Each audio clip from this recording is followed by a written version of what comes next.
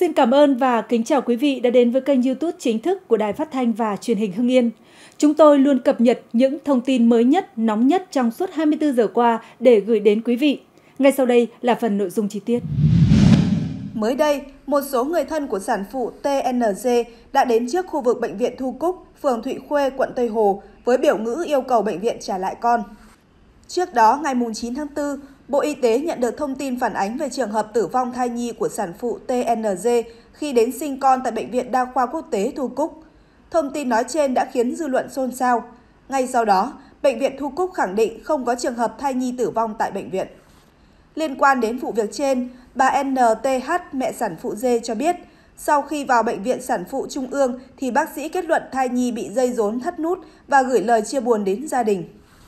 Theo lời kể của anh TA, chồng sản phụ dê, thì khi đi khám ở tuần 37-38, bác sĩ có siêu âm và kết luận nước ối giảm và dây rốn cuốn cổ. Vợ tôi có hỏi là có vấn đề gì không và đề nghị bổ cấp cứu luôn. Nhưng bệnh viện chỉ giữ lại một đêm để theo dõi và hôm sau ngày 16 tháng 3 thì cho vợ tôi xuất viện vì tình hình sức khỏe đã ổn định.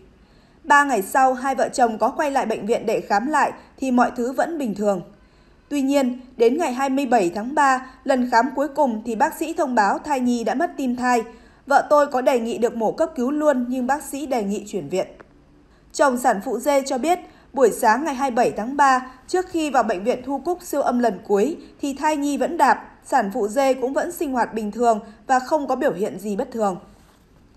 Theo chia sẻ của người thân, sau khi mất con, tâm lý và sức khỏe của sản phụ dê chưa được ổn định. Vợ tôi tâm lý chưa được ổn định sau cú sốc mất con. Từ hôm xảy ra sự việc, bệnh viện Thu Cúc cũng chưa hề đến nhà thăm hỏi. Những buổi làm việc tại bệnh viện trước đó đều là do gia đình đề nghị. Anh TA cho biết, liên quan đến sự việc nói trên, sáng ngày 11 tháng 4, bà NTH, mẹ sản phụ dê, cùng một số người thân đã có mặt tại bệnh viện Thu Cúc và yêu cầu được làm việc với lãnh đạo bệnh viện. Theo chia sẻ của bà H, thì trước đó bà đã đến đây làm việc 3 lần tuy nhiên vẫn chưa có kết quả và cũng chưa nhận được lời giải thích thỏa đáng. Bà hát chia sẻ, bệnh viện trao đổi khi mai táng cho cháu xong thì sẽ nói chuyện tình cảm với gia đình nhưng đến giờ đã chối bỏ trách nhiệm. Tôi đã đến đây làm việc 3 lần nhưng bệnh viện không có một lời giải thích thỏa đáng. Tôi sẽ làm việc này cho đến cùng để đòi lại công bằng cho cháu tôi.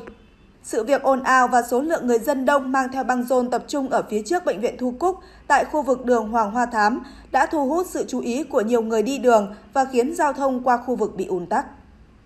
Trưa ngày 11 tháng 4, một lãnh đạo công an quận Tây Hồ cho biết, ngay sau khi nắm được thông tin về việc một số người tập trung trước khu vực bệnh viện Thu Cúc, Thụy Khê, đơn vị đã cử lực lượng đến hiện trường, đồng thời mời những người này về trụ sở làm việc để ổn định an ninh trật tự. Ngày 11 tháng 4, Tòa án quân sự quân khu 5 tại thành phố Đà Nẵng mở phiên xét xử phúc thẩm đối với bị cáo Hoàng Văn Minh, sinh năm 1986, cựu thiếu tá thuộc Trung đoàn 937 về tội vi phạm các quy định về tham gia giao thông đường bộ. Theo cáo trạng, ngày 28 tháng 6 năm 2022, ông Minh lái ô tô 7 chỗ chở nhiều người trong gia đình, trong đó có bà Huỳnh Thị Kim Hằng, vợ ông Minh, và ông Phạm Văn Võ, chồng di ruột của ông Minh. Đi trên đường 16 tháng 4, thành phố Phan Giang, Tháp Tràm, tỉnh Ninh Thuận đã tông vào xe máy của em Hồ Hoàng Anh 18 tuổi, đang đi lấy giấy báo thi tốt nghiệp trung học phổ thông chạy cùng chiều. Nữ sinh bị hất văng vào trụ điện tử vong. Khi xuống xe kiểm tra, ông Minh thấy nữ sinh bị thương liền đưa đi cấp cứu. Tuy nhiên sợ ảnh hưởng xấu tới bản thân, đơn vị, ông Minh nhờ ông Võ nhận giúp là người lái xe. Làm việc với cơ quan công an, ông Võ nhận là người lái ô tô gây tai nạn, bà Huỳnh Thị Kim Hằng cũng xác nhận điều này. Tuy nhiên, quá trình điều tra vụ án, cơ quan chức năng xác định vợ chồng Hằng và ông Võ khai báo gian dối, ông Minh mới là người lái xe gây tai nạn. Cụ thể, cơ quan chức năng làm rõ, ông Minh trong khi điều khiển ô tô đã sử dụng điện thoại, thiếu tập trung quan sát, không bảo đảm an toàn trong quá trình chuyển hướng để xảy ra va chạm với xe máy của cháu Hoàng Anh khiến nạn nhân tử vong. Vào tháng 12 năm 2023, Tòa án quân sự khu vực 2 quân khu 5 tại thành phố Nha Trang, Khánh Hòa đã đưa vụ án ra xét xử. Bản án sơ thẩm tuyên phạt ông Minh mức án 14 tháng tù, bộ bị cáo bồi thường cho gia đình nạn nhân số tiền 254 triệu đồng. Trong vụ án này, ngày 13 tháng 7 năm 2022, Công an thành phố Phan Rang Tháp Tràm gửi thông báo cho gia đình nạn nhân cho biết kết quả kiểm tra nồng độ cồn của HHA là 0,79mg trên 100mg máu. Kết quả này khiến người thân của nạn nhân vô cùng bức xúc. Sau khi bản án được tuyên, bị cáo Minh có đơn kháng cáo, trong đó có nội dung xin giảm án và xin hưởng án treo. Đại diện của bị hại cũng có đơn kháng cáo cho rằng bản án sơ thẩm đánh giá không đúng tính chất mức độ hậu quả hành vi phạm tội của bị cáo, chưa mang tính gian đe, bên cạnh đó mức bồi thường thiệt hại dân sự không phù hợp. Tại phiên tòa phúc thẩm, bị cáo Minh có đơn trình bày xin được thỏa thuận dân sự, hội đồng xét xử đã công bố nội dung đơn, đồng thời tạo điều kiện để hai bên thỏa thuận. Bị cáo Minh bày tỏ sự ăn năn hối hận, thừa nhận lỗi chính gây ra vụ tai nạn là do bản thân bất cẩn thiếu quan sát. Bị cáo nhiều lần cúi đầu xin lỗi gia đình bị hại. Phía đại diện gia đình bị hại vẫn giữ nguyên nội dung kháng cáo, đề nghị tăng hình phạt đối với bị cáo Minh, tăng số tiền bồi thường. Sau khi xem xét toàn diện vụ án, hội đồng xét xử xét thấy tại phiên tòa hôm nay, bị cáo không cung cấp thêm được tài liệu chứng cứ nào mới, do đó không có cơ sở để xem xét áp dụng giảm hình phạt cho bị cáo. Mức án mà cấp sơ thẩm tuyên là đúng người đúng tội, đúng pháp luật. Vì vậy, hội đồng xét xử bác đơn kháng cáo của bị cáo, tuyên giữ nguyên mức hình phạt là 14 tháng tù. Đồng thời, hội đồng xét xử tuyên bác nội dung kháng cáo tăng hình phạt đối với bị cáo của đại diện bị hại, sửa một phần nội dung bản án sơ thẩm, tăng mức bồi thường cho phía bị hại với số tiền hơn 306 triệu đồng. Đối với kháng cáo của đại diện bị hại, đề nghị xem xét lại quyết định đình chỉ vụ án khai báo gian dối với bị can Huỳnh Thị Kim Hằng, vợ Minh và Phạm Văn Võ, chú Minh cho rằng việc này dẫn đến có dấu hiệu bỏ lọt tội phạm, Hội đồng xét xử cấp phúc thẩm cho biết về nội dung này, Viện Kiểm sát Quân chủng Phòng không không quân khu vực 2 không truy tố nên cấp phúc thẩm không xem xét.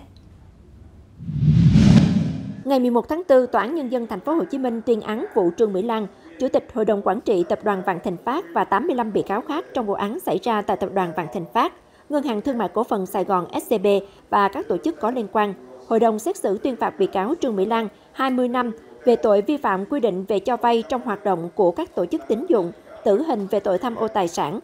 20 năm tù về tội đưa hối lộ, tổng hình phạt chung là tử hình. Theo hội đồng xét xử, trước khi hợp nhất, bị cáo Trương Mỹ Lan đã thu mua cổ phần của ba ngân hàng, ngân hàng SCB, ngân hàng Việt Nam Tín Nghĩa và ngân hàng Đệ Nhất, khi ngân hàng nhà nước cho phép hợp nhất ba ngân hàng, lợi dụng chính sách tái cơ cấu lại ngân hàng. Tính đến tháng 10 năm 2022, bị cáo Lan đã thâu tóm nắm giữ khoảng 91,5% cổ phần ngân hàng SCB. Dù bị cáo Lan không nắm giữ các chức vụ tại SCB, nhưng bị cáo này gián tiếp sở hữu trên 91% cổ phần của ngân hàng, nên bị cáo Lan có quyền chi phối quyết định các vấn đề của ngân hàng này. Do đó, bị cáo Lan thỏa mãn là chủ thể của tội tham ô tài sản. Lợi dụng vai trò là cổ đông gần như tuyệt đối của ngân hàng SCB, bị cáo Lan đã chỉ đạo các bị cáo Bùi Anh Dũng, Trương Khánh Hoàng, Trần Thị Mỹ Dung, Võ Tấn Hoàng Văn rút tiền ra khỏi SCB để phục vụ cho mục đích của mình.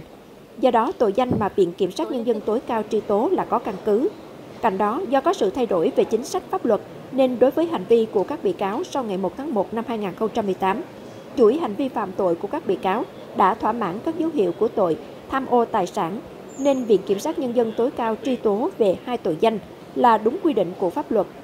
Theo đánh giá, bà Lan có nhiều tình tiết giảm nhẹ như phạm tội lần đầu, có nhiều đóng góp cho cộng đồng, nhân thân tốt, tích cực tham gia các hoạt động từ thiện phòng chống dịch. Tuy nhiên, bị cáo phạm tội với vai trò cầm đầu, phạm tội có tổ chức trong thời gian dài. Với thủ đoạn tinh vi, phạm tội có tổ chức gây hậu quả đặc biệt nghiêm trọng, không có khả năng thu hồi nên phải xử lý nghiêm. Bản án nhận định hành vi của bị cáo không chỉ phạm đến quyền quản lý tài sản của các cá nhân tổ chức mà còn đẩy SCB vào tình trạng kiểm soát đặc biệt, xói mòn niềm tin của người dân đối với sự lãnh đạo của đảng nhà nước, Tòa cũng tuyên tiếp tục kê biên các tài sản để đảm bảo thi hành án. Sáng ngày 11 tháng 4, bốn tổ công tác với hàng chục cảnh sát của Cơ quan Cảnh sát điều tra Công an tỉnh Bình Thuận đồng loạt công bố quyết định khởi tố bị can, thi hành lệnh bắt tạm giam đối với hai phó giám đốc trung tâm đăng kiểm xe cơ giới 8602D Bình Thuận, xã Tân Lập, Hàm Thuận Nam. Ngoài khởi tố, bắt giam hai phó giám đốc nói trên, Cơ quan Cảnh sát điều tra Công an tỉnh Bình Thuận cũng khởi tố, bắt giam một cựu nhân viên quản lý xe của Trung tâm dạy lái xe Thanh Long Đỏ, Bình Thuận. Cơ quan Cảnh sát điều tra đã đồng loạt thực hiện lệnh khám xét tại Trung tâm đăng kiểm xe cơ giới 8602D và ba nơi cư trú của các bị can tại xã Đồng Kho, huyện Tánh Linh, thị trấn Tân Nghĩa, huyện Hàm Tân và xã Hàm Đức, huyện Hàm Thuận Bắc. Được biết, hai phó giám đốc trung tâm đăng kiểm xe cơ giới 8602D Bình Thuận là Nguyễn Đình Nhật, 27 tuổi và Huỳnh Tấn Tài, 36 tuổi, bị khởi tố về tội nhận hối lộ. Lê Hữu Trác, 32 tuổi, cựu nhân viên quản lý xe của trung tâm dạy lái xe Thanh Long Đỏ, bị khởi tố về tội đưa hối lộ. Trước đó, vào tháng 4 năm 2023, Cơ quan Cảnh sát điều tra Công an tỉnh Bình Thuận có thông báo kêu gọi các cá nhân có liên quan đến sai phạm trong hoạt động đăng kiểm tự thú, đầu thú, chủ động khai báo, tố giác tội phạm để được hưởng khoan hồng. Công an Bình Thuận cho biết, qua xác minh ban đầu, phát hiện có nhiều dấu hiệu vi phạm pháp luật liên quan đến quá trình hoạt động đăng kiểm xe cơ giới đường bộ trên địa bàn tỉnh. Tháng 6 năm 2023, Ủy ban Nhân dân tỉnh Bình Thuận cũng có văn bản yêu cầu tăng cường công tác thanh tra, kiểm tra, kịp thời chấn chỉnh những hạn chế, thiếu sót trong công tác kiểm định phương tiện giao thông. Trường hợp phát hiện các sai phạm thì phải kịp thời xử lý hoặc kiến nghị cơ quan có thẩm quyền xử lý nghiêm đối với trung tâm đăng kiểm, đăng kiểm viên trong thực thi nhiệm vụ. Tỉnh yêu cầu chủ động theo dõi, nắm bắt kịp thời phát hiện và xử lý nghiêm đối với các tổ chức cá nhân vi phạm pháp luật liên quan đến hoạt động kiểm định, nhất là các tổ chức cá nhân lợi dụng việc un tắc phương tiện tại các trung tâm đăng kiểm xe cơ giới để thực hiện các hành vi trục lợi. Cụ thể là các hành vi như nhận đăng kiểm hộ, giúp làm nhanh kiểm định, mua bán tem, giấy chứng nhận kiểm định, gây bức xúc dư luận xã hội, mất niềm tin của nhân dân.